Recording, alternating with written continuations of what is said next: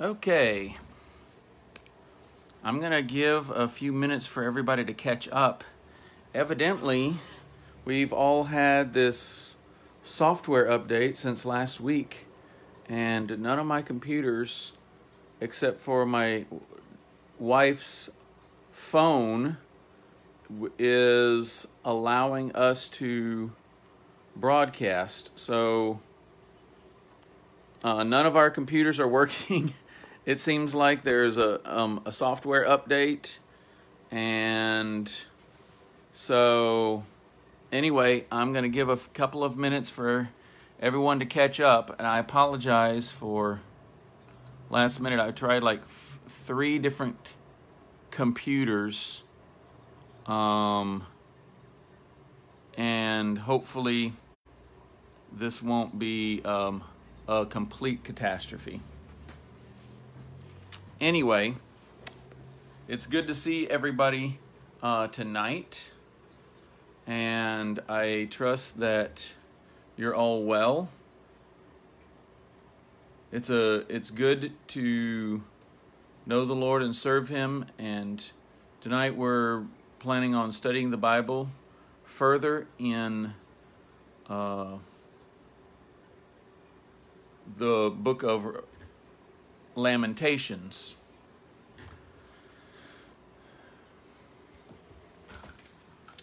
I'm going to be. Uh, well, that's sideways, sorry. I can't turn my phone. Sorry. Um, I'm going to be presenting um, from Lamentations chapter 1, the second half.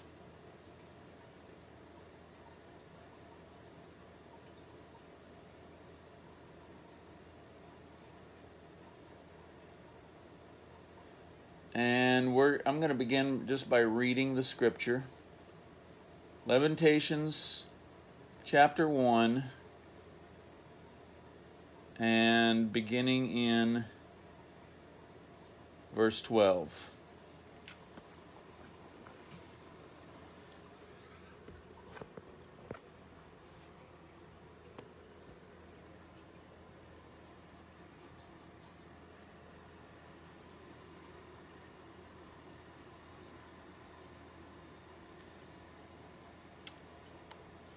Okay. Bible says, Is it nothing to you, all you that pass by? Behold and see if there be any sorrow like unto my sorrow, which is done unto me, wherewith the Lord hath afflicted me in the day of his fierce anger.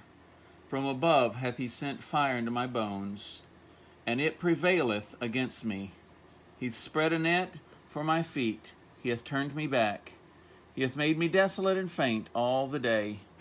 The yoke of transgression is bound by his hand. They are wreathed and come up upon the neck. He hath made me my strength to fall, and the Lord hath delivered me into their hands, from whom I am not able to rise up. The Lord hath trodden under foot all my mighty men in the midst of me. He hath called an assembly against me to crush my young men. The Lord hath trodden the virgin, the daughter of Judah, as in a winepress. For these things I weep. Mine eye mine eye runneth down with water, because the Comforter that should relieve my soul is far from me. My children are desolate, because the enemy prevails. Zion spreadeth forth her hands, and there is none to comfort her. The Lord hath commanded concerning Jacob that his adversaries should be round about him. Jerusalem is as a menstruous woman among them. The Lord is righteous for I have rebelled against his commandment. Hear, I pray you, all people, and behold my sorrow. My virgins and my young men are gone into captivity. I called for my lovers, but they deceived me. My priests and my elders gave up the ghost in the city, while they sought their meat to relieve their souls. Behold, O Lord, for I am in distress. My bowels are troubled, My heart is turned within me, for I have grievously rebelled. Abroad the sword bereaveth, at home there is as death. They've heard that I sigh, there's none to comfort me. All mine enemies have heard of my trouble. They are glad that thou hast done it. Thou wilt bring the day that thou hast called, and they shall be like unto me. Let all their wickedness come before thee, and do unto them as thou hast done unto me for all my transgressions. For my sighs are many, and my heart is faint. Let's begin with prayer. Father, this evening as we look into your word and consider these words of lamentation, would you help us to see your purpose, to understand your promise, and to look forward, Father, to what you're doing, what you're going to do. Give us wisdom. Give me wisdom. Thank you for the opportunity to meet with my brethren, even in this virtual setting. Bless us, we pray, in Jesus' name. Amen.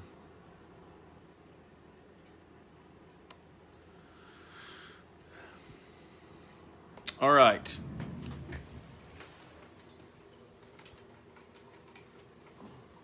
So, again, I wanted to say, uh, apologize for coming to the party late and having um, some technical issues that I didn't prepare for. But Lord willing, we're going to keep moving forward and be able to uh, have this Bible study anyway. I appreciate all of you that are here. That's a blessing.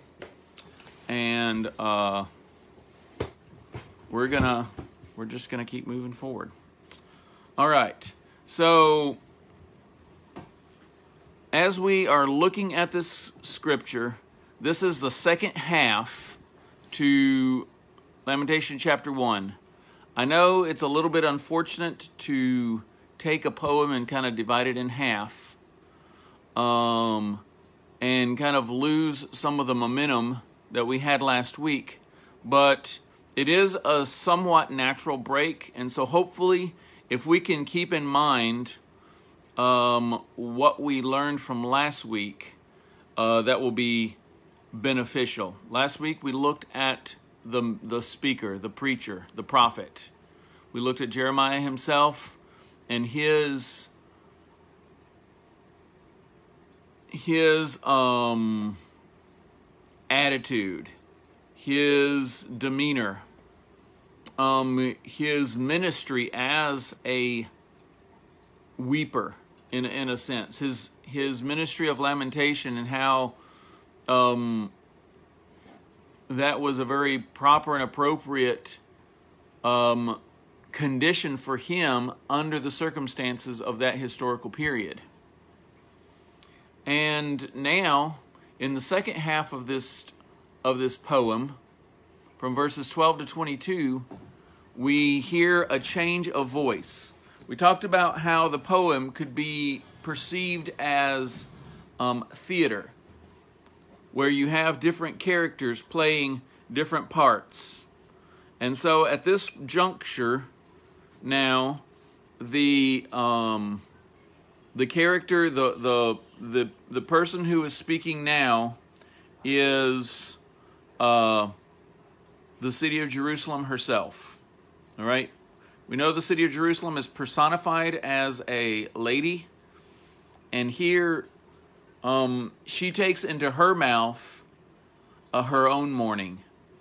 And after the preacher has kind of primed her in understanding of her mourning and and um, has seen to the the situation that she's in, now she's going to respond in like manner, and she's going to take up um, a, re, um, a lamentation for herself. Now, as we think of her speaking her own lamentation, um, there's a lot of things that come to mind and uh,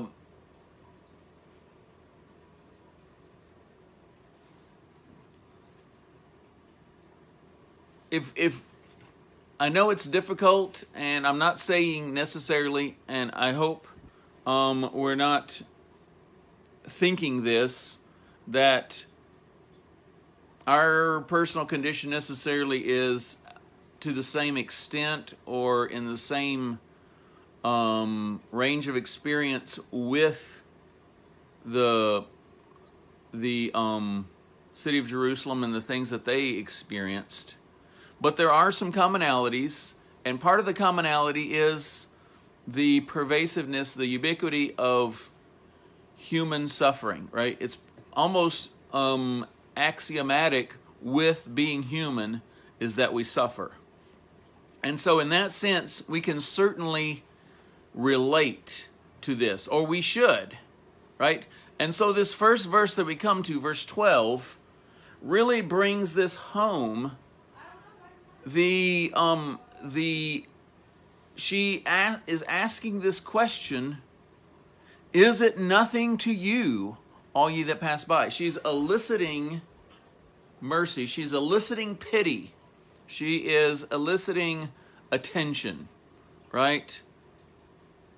Um, you know, if you see someone who is in pain, someone who is um, struggling, someone who is in trouble,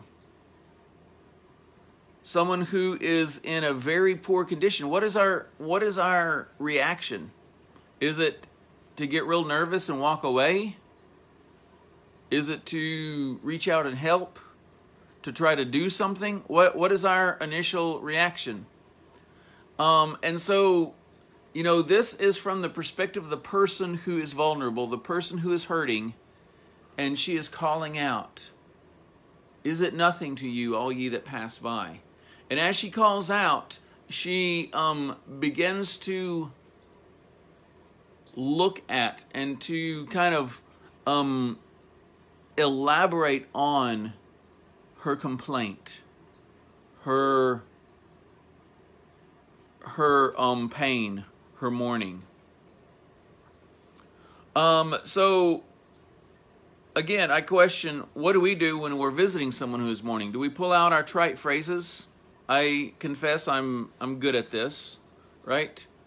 Um, I I have a, you know a store of Christian phrases that I can use to help people, or at least to help me feel better about the people who are suffering. But let's look for an, a minute at the ancient Eastern cultures and how they um, they had some ritual ways in which to identify with the mourner. And um, perhaps you would remember when we were um, going through the book of Job that we kind of touched on some of these things. What did Job's friends do whenever they saw that he was in pain? You know, at first, they came and just sat there and just um, sat with him and sat in silence and joined him on the ash heap, right? And so here, as we are um, thinking about this, there are some. I, I I'm calling them rituals, some some uh, cultural norms, uh, some things that we go through in order to identify with the person who's suffering, and one is to change our clothes. Oh, so I, I forgot to put this one. A lot of people on the first view of this of this uh, condition, what do they do? They grab their own clothes and they rip them, right? Now you have to think about this. This isn't just um, pulling the buttons off of an old shirt. Um, usually, most people had two sets of clothes to their name. You know, they had one set that they're wearing and the other set that's in the wash. And um, the clothing was um, well built. It was made to be durable. Um, you know, if you bought a set of clothes in a year, you know, that was a big thing. So to rip a set of clothes was an extreme gesture of surprise and astonishment. It kind of goes with the very first verse that we read um, over in uh, there in in verse one. It says, "How." Right? Whenever the preachers first started expressing the lamentation for the city of Jerusalem, his first word was, How doth the city sit solitary? It's this outcrying of surprise and anxiety and uh, and um, you know disbelief in a sense. And so um, that ripping of the garment is that same thing. And so after you've ripped your good garment, then you then you get an old um, old burlap material. So basically, this isn't a garment. This is a non-garment, right? It's some pieces of old flour sack that you wrap around yourself to pre- preserve your modesty, but to indicate that you're not in any condition to dress up at the at the moment right? So you're putting on sackcloth. And uh, the psalmist uses this as a picture of mourning at times. Psalm 69 11 says, I made sackcloth also my garment, I became a proverb to them. Or um, David says, whenever he saw his enemies in grievous condition, that he went and he made himself to be a friend of them. As for me, when they were sick, my sackcloth was my clothing was sackcloth. I humbled my soul with fasting, and my prayer returned into my own bosom. So you rip your clothes, you put on sackcloth, you sit with them in um, the ashes. Jeremiah uses this a lot. O daughter of my people, gird thee with sackcloth, wallow thyself in ashes. Um, Job sitting there upon the ash heap was a symbol of his mourning, a symbol of his condition, a symbol of his feeling distraught, um, unworthy, you know, to sit on in, in you know, sit on a, a decent couch or a decent seat, or even come inside. Make thee mourning as for an only son, most bitter lamentation, for the spoiler shall suddenly come upon thee. Jeremiah six twenty six, and then Howl, ye shepherds, and cry, Wallow yourselves in the ashes, ye principal of the flock. For the days of your slaughter and of your dispersions are accomplished, and you'll fall like a pleasant vessel. So, this, so adapting yourself to a condition of ashes that some people would say they would sprinkle the ashes symbolically upon their head or they'd sprinkle dust. And this has um, ritually it has the idea of you know i came from dust and i'm going to dust right? As humans we are but dust. We are um our our light we're mortal. We're sub, subject to mortality. We're subject to the um ravages of time and of death and therefore um we are um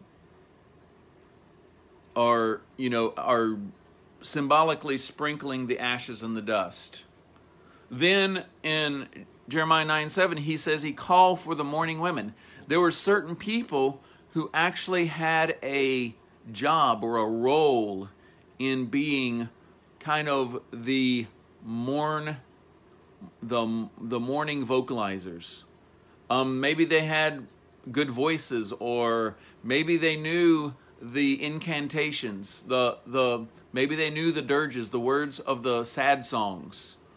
Um, but I, I mean, I've actually been to um, a funeral like this before in other cultures where they have, you know, there's this certain lady in the in you know, and they arranged for her to come after the body's been laid out in the in the front room of the house, and she comes and she, you know, she'll spend some time uh, vocalizing and and crying out and and leading others, and some people will you know may join her in some of the more familiar um, choruses and, and things like that, but she is paid good money and that's that's part of her job right? She is a mourner. She's a professional mourner.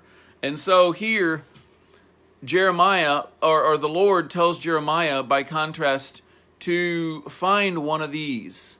And he's using the term of mourning in the sense of prayer. Right? Thus saith the lord of hosts consider ye and call for the mourning women that they may come and send for the cunning women that they may come and let them make haste and take up a wailing for us. And whenever you hear the wailing, their articulate um, version of crying, that our eyes may run down with tears and our eyelids gush out with waters. For a voice of wailing is heard out of Zion. How are we spoiled? We are greatly confounded, because we've forsaken the land, because our dwellings have cast us out. Yet hear the word of the Lord, O you women, and let your ear receive the word of, the, of his mouth, and teach your daughters wailing. So not only do you elicit those who know how to mourn, who know that proper, um, respectful attitude and frame of mind that that should have been characteristic of Judah and Israel whenever they realized that they were in this condition of rebellion against the Lord, but also teach. Take your daughters in in hand, uh, you know, and it's using women and daughters. Um, but you can you know you can extrapolate that to all of our people, right? We need to learn to mourn.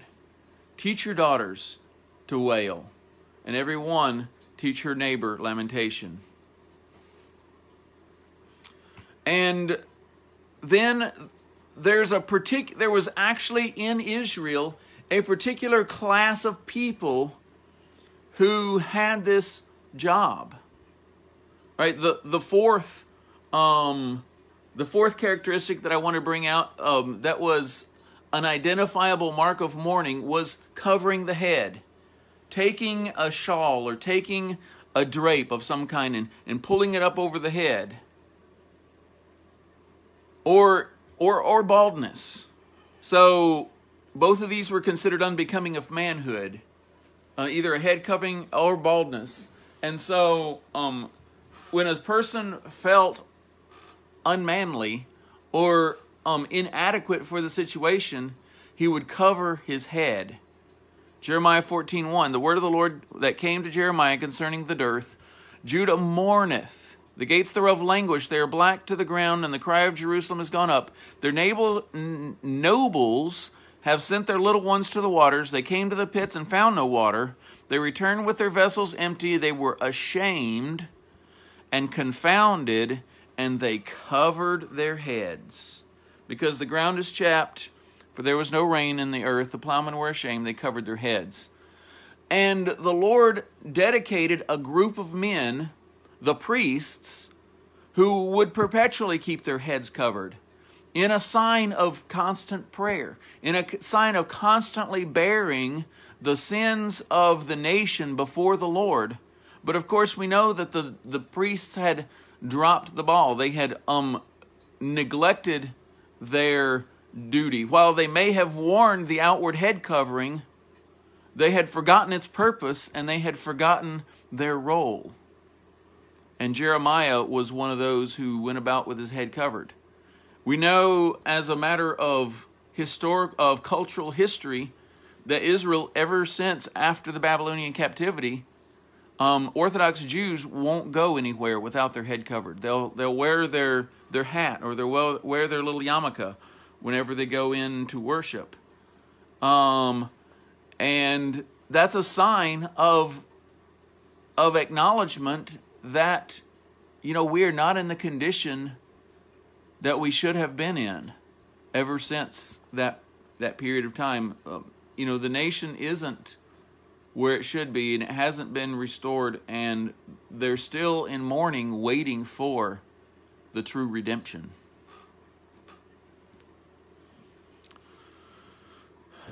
So, um, I've been reading using uh, somewhat the um, the commentary by Keil and Delitzsch, and this is a couple of observations that Keil made um, on the book of Lamentation. He says the importance of lamentation as a part of the canon does not so much consist in the mere fact that they were composed by Jeremiah and contain outpourings of sorrow on different occasions over the mystery of his people, as rather in there being an evidence of the interest with which Jeremiah, in the discharge of his functions as a prophet, continued to watch over the ruins of Jerusalem.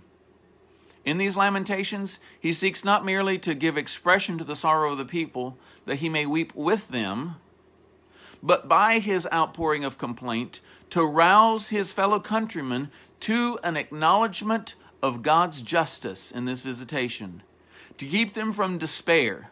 Ah, notice that going through the process of mourning is not giving in to despair, but it's actually working through the pain and the sorrow in order to deal with it and not give in to despair.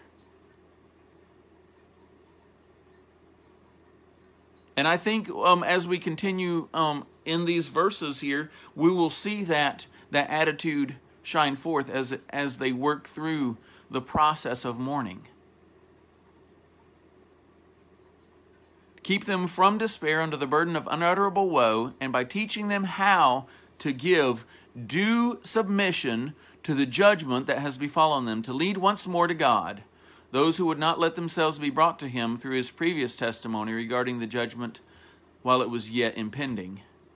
The Jewish synagogue has recognized and duly estimates the importance of Lamentations in these respects by appointing that the book should be read on the anniversary of the destruction of the temple.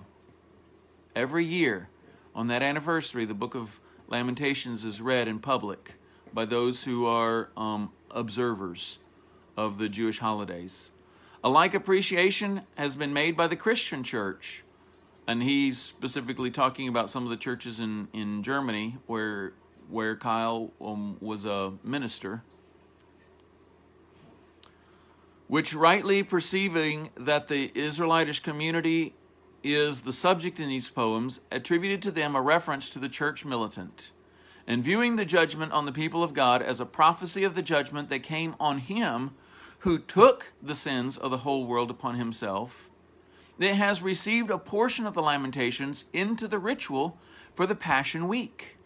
So in the Christian church, we even recite portions of the Lamentations on Passion Week, or it's part of the liturgy in, in some churches, and concludes each of these lessons with the words, O Jerusalem, Jerusalem, Turn back to the Lord your God. Convertere de Dominum Deum tuum. The motives for this choice are so far set forth by Allioli, um, and then listen to this quote. This is really interesting. The church wished believers to see in the great punishments which God had ordained against Jerusalem by the instrumentality of Nebuchadnezzar, the still more severe chastisement that God has brought on Israel after the dreadful murder of the Messiah. She seeks to bewail the unhappy condition of the blinded nation, once favored with the divine revelation. In the fall of Jerusalem, she seeks to deplore the evil that has come on herself from external and internal foes, the persecution of brother by brother, the havoc made by false teachers, the looseness of opinions, the sad advancements made by indifference in matters of faith and by the corruption of morals. In the dev- devastation and the penalties inflicted on Jerusalem, she wishes to present for consideration the destruction which comes on every soul that dies the death in sin. In the condition of the ruined city and the homeless nation, she seeks to make men bewail the homeless condition of the whole race, who have fallen into decay and disorder through Adam's sin.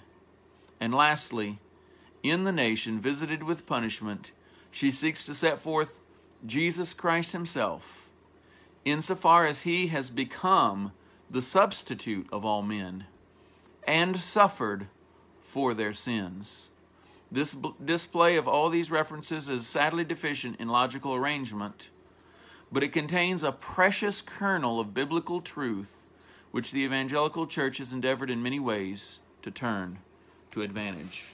And so, as we come to verse 13, we see here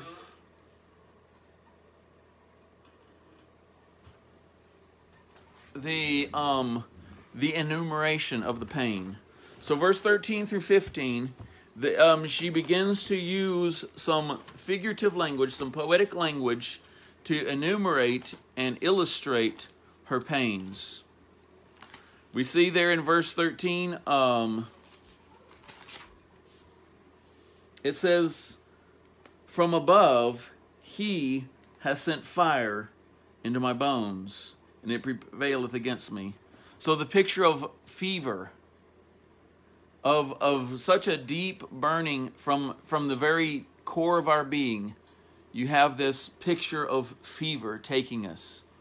So, um, some people who have, um, who go through trauma or go through pain, will have physical reactions as well as mental, right? And they they can actually come down with fever because of the extent of their suffering. Um, he uses the picture, uh, or she, the the the woman of Jerusalem, says, "He hath spread a net for my feet; he hath turned me back."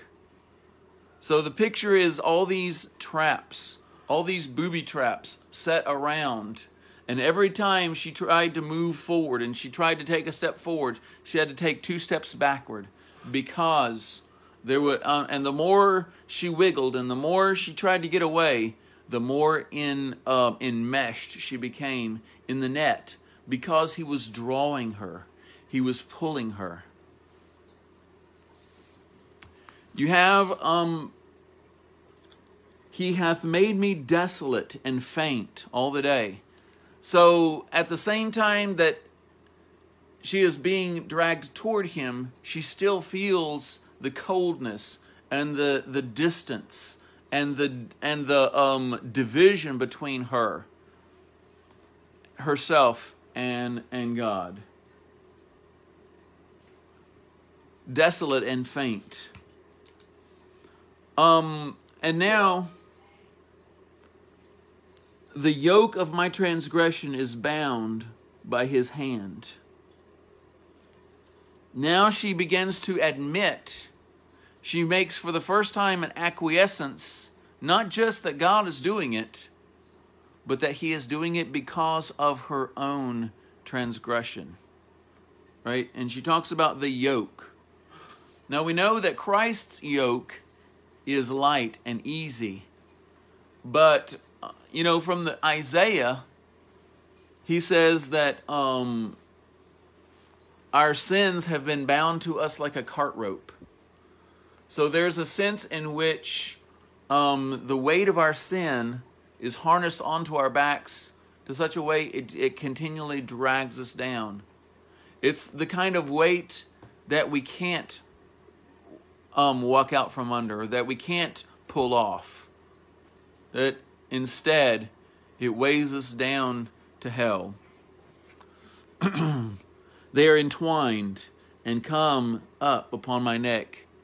It says it's it's like the more I struggle against this yoke, it, the the iniquity itself is like um the the wooden yoke. It's like it has grown, it has um sprouted and grown um limbs and has begun to entwine itself around me to such a way that there's no extricating myself from this yoke. He hath made um, my strength to fall. The Lord hath delivered me into their hands, from whom I am not able to rise up. So the picture is an illusion of Samson, right? He cut his hair he thought he would go out and shake himself as at other times, but he, he found that his strength was gone from him. He was bound to the yoke of the millstone. Um, he was entwined and he had to pull the millstone. He had to um, he he he lost his strength. He lost his sight, and he um, served in the millstone of his own sin.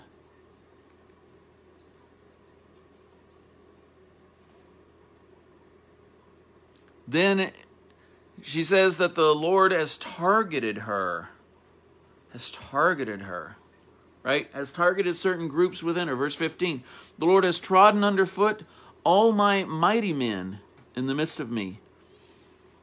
If you think of the heroes, you think of the the the men who um, take care of business in the city of Jerusalem, the the um, the public servants and the um, leaders of business and the spiritual leaders and the the um, the ones who have the ability to take care of the things that uh, a city needs taken care of, they've been stomped down.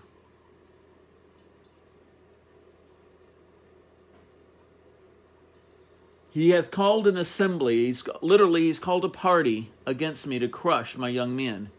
So he says that God made a party, but it was a it was a trap. Lured the young men into this party in order to carry them away.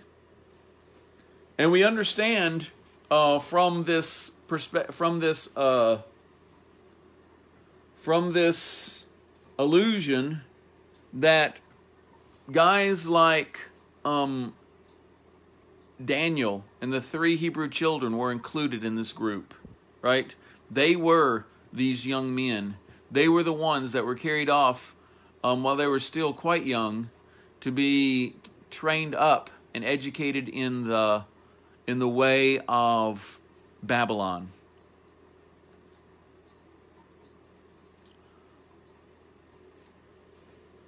And then it says,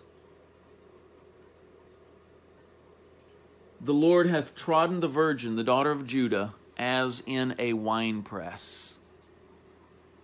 So, a graphic, yet it's a poetic way of, of looking at the um, the violence, right?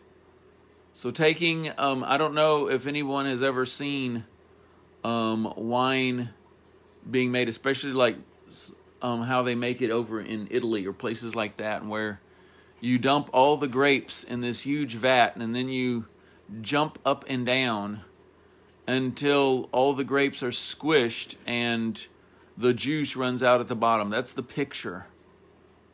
Um, that anything that was good, anything that was pure, anything that was, um, you know, the grapes, how they kind of, in a sense, congeal the the rain, the dew, and the sunshine, and put it together in this in this fresh fruit, and then that life is just um, squeezed out.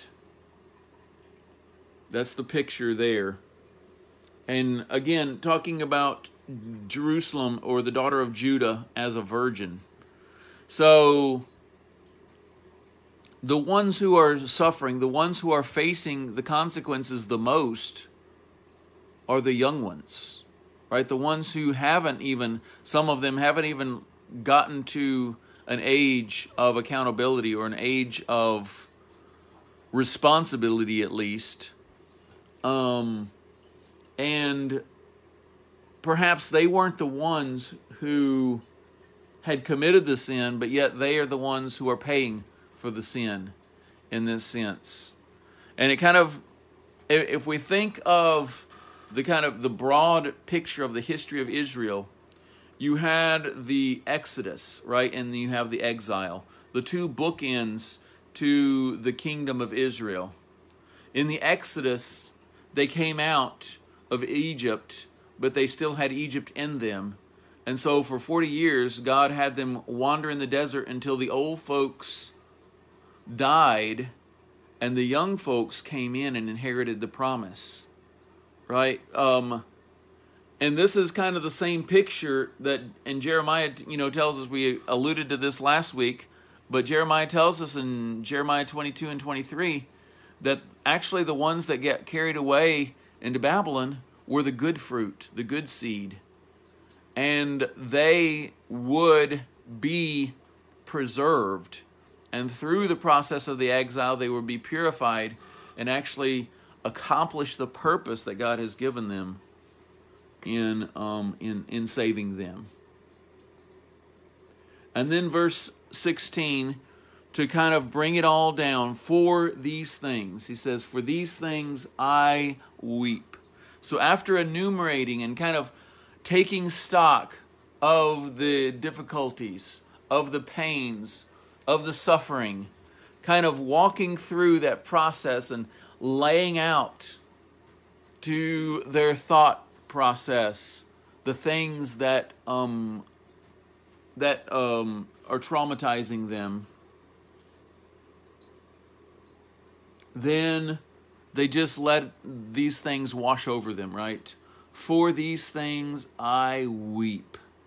Mine eye, mine eye runneth down with water, because the Comforter that should relieve my soul is far from me. Suddenly, after going through the pain and looking around, there's like, there's no one to comfort. My children are desolate because the enemy prevaileth.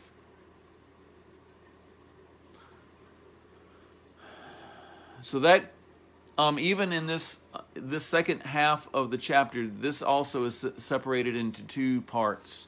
Verses 12 to 16 is the city of Jerusalem enumerating her suffering and coming to this moment of overwhelming grief and um, just giving herself over to weeping and crying out.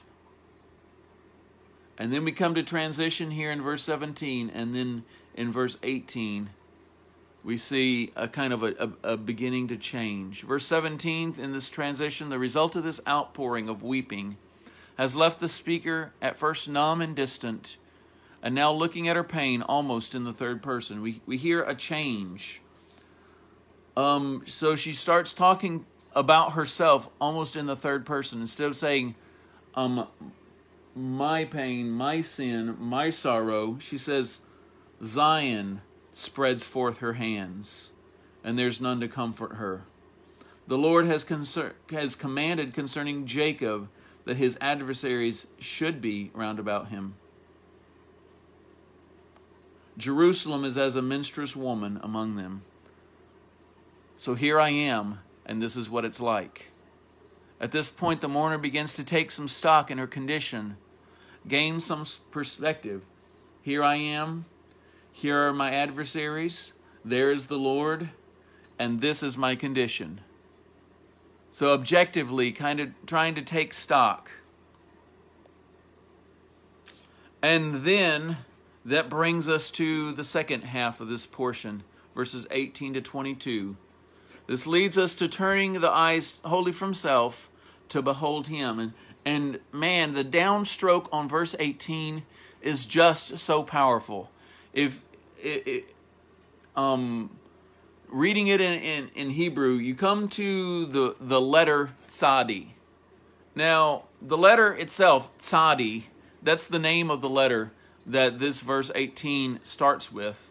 But the word Tzadi also um, the letter is almost identical with the word righteous, righteousness. Um, growing up in Albania, I had a friend um, who um, an Arabic an Arabic name is is very very Arabic and, and Hebrew are very similar, and his name was Tzaddik. Um, and I learned early that that means righteous. Righteous. And and it was it's it's so cool to hear righteous art thou o lord right? The lord is righteous after she has gone through these steps of grieving right and she's enumerated her pain and she's poured out herself in, in weeping and crying and begins to come to herself again, she looks around and she says, The Lord is righteous. Why? For I have rebelled. Right? We turn our mind toward faith. I have rebelled against his commandment. At this point, repentance is coming. The, um, the, the, the sorrowing has brought them to this moment of cleansing, this, this cleansing process. The, the mourning, um, not to dim, dis, diminish at all or dismiss at all the process of looking at the sorrow and looking at the pain and looking at the vulnerability and looking at um, all these reasons for grieving. But now being able to, through that process, come face to face with the Lord brought me here, and the Lord is righteous. He hasn't lost his grip. He hasn't lost his perspective. He hasn't lost his control. He hasn't lost his position as Lord of the universe. Not only that, he hasn't lost his attribute of being right, of being just, of being good.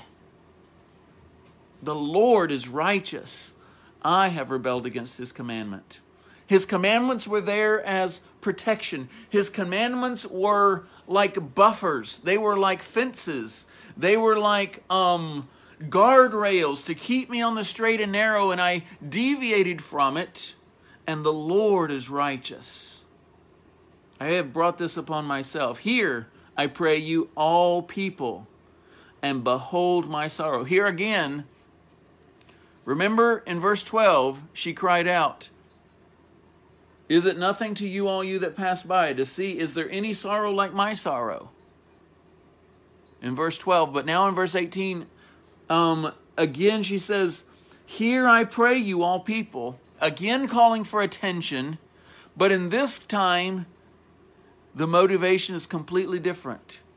She says, Look at my sorrow and learn a lesson from it. Don't just, she's not calling out, not that she isn't to be pitied, she is and again, not diminishing her pitiable condition, but gain some wisdom from this. Learn your lesson from this. Don't let yourself be fooled by this condition. Um, and and and go through this process. Uh, so she begins to enumerate her sins. I had called for my lovers, but they deceived me. My priests and my elders, they gave up the ghost in the city because they were all pursuing their own things. They sought me to relieve their own souls. And behold, O Lord, for I am in distress. My bowels are troubled. My heart is turned within me. I have grievously rebelled. Abroad the sword bereaveth. At home there is a fire. I apologize. I, I realize that the hour is late. But Verse 21, it brings them to this place. There is none to comfort. The enemy's reaction was celebration. The Lord's reaction, they were bringing that day. And in this day, in this day of judgment, acknowledging that God is righteous.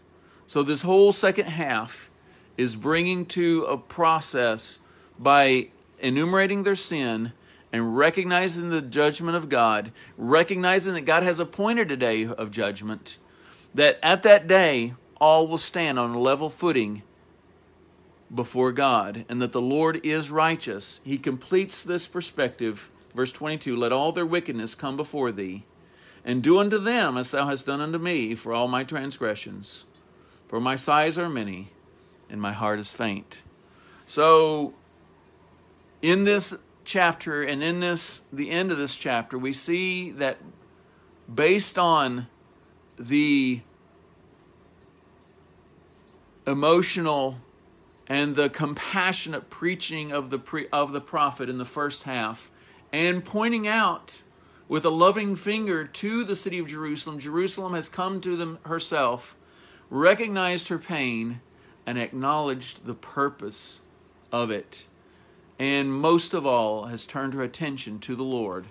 And so, in our next chapter, chapter 2, we'll see how it is of the Lord all that has happened. Y'all have a good evening, and the Lord bless you.